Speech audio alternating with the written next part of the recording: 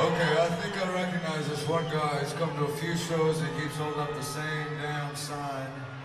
And uh, I never want to see this fucking sign again, so.